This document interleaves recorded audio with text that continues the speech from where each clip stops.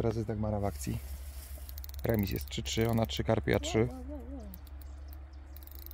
O ty, nie szalej, malutki. To malutku, pamiętaj, bo to jest, wiesz, bliżej brzegu podejść, bo go w krzaki ciągniesz. To jest musztra, człowieku, jaka to jest musztra. No i masz. Teraz proszę sobie ładnie go odczepić i zwrócić mu wolność. A ten jest podpięty pod brzuch. Taka faza. Zobacz, tak, zobacz gdzie jest haczyk. Ojej, Za jest zapięty tutaj. jak Dookoła to, płetwy. to musisz to sam zrobić. Trzeba zrobić. Ten się zaczepił po prostu. Dobra, chwila pauzy. Ej, ty jakiś jesteś strasznie pobudzony. Ten karpik się owinął dookoła głowy. Boże, z tyłu wędkę masz. Tam go wypuścimy.